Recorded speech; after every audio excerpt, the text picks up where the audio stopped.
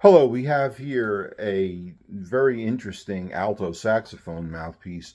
This is a Meyer reproduction done in a composite material of some sort. I bought this a number of years ago and um, I think it's it's very good. I mean, this isn't junk. And I'm just going to play a little bit. It's a nine small chamber medium facing. Tip opening actually measures 85 with my, um,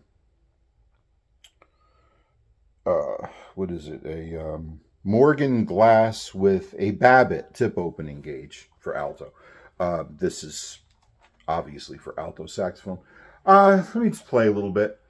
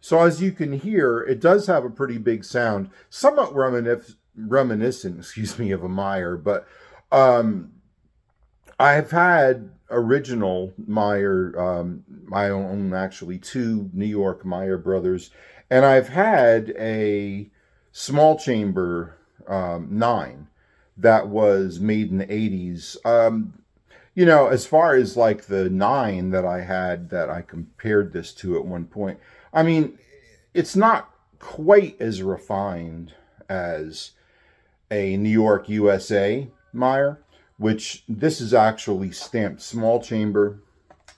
And just be sure here, it does say New York USA. So this is what they were going for. And like I said, I have no idea who made this mouthpiece, but this is not bad by any means.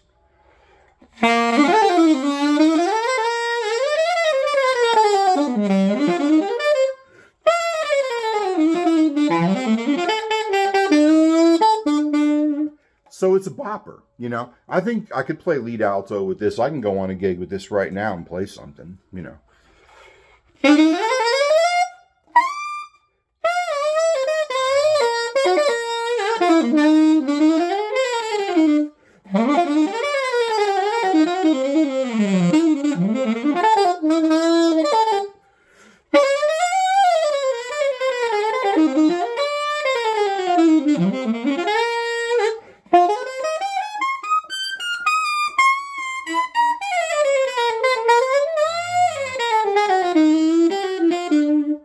So it's got a lot of sound. I'd take a chance on this for sure. Thanks.